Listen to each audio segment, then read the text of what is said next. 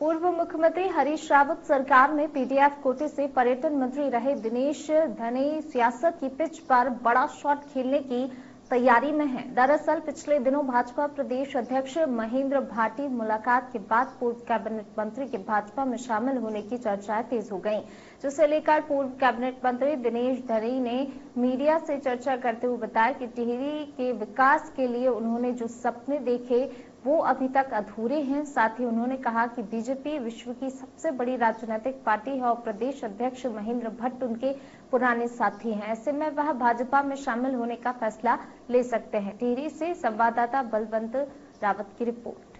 हमें भी आने का उन्होंने निमंत्रण दिया है और कोई भी राजनेता हो ज़रूर चाहता उसका परिवार बढ़े, किसी परिवार का मुख्य। वो उन्होंने, उनका भी एक प्रयास था। उन्होंने भी कहा कि धने जी आप हमारी पार्टी में आओ। और बड़ा दल है इसमें मिलकर काम करेंगे। बस ये से चर्चा शुरू हुई है और राजनीति में चर्चाएँ तो होती रहती है। मैं इसको कोई बहुत बड़ा विषय नहीं है। एक राजनीतिक चर्चा है।